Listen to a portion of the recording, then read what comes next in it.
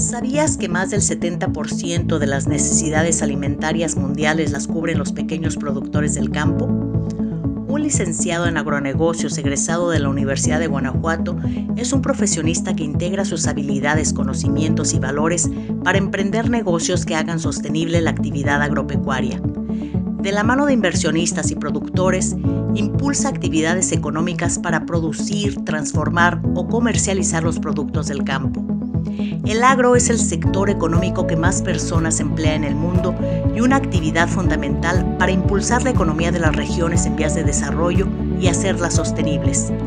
El licenciado en agronegocios no solo busca la rentabilidad, procura el cuidado del medio ambiente, el uso de materias primas que no dañen al ser humano y la implementación de sistemas alimentarios inclusivos y eficientes.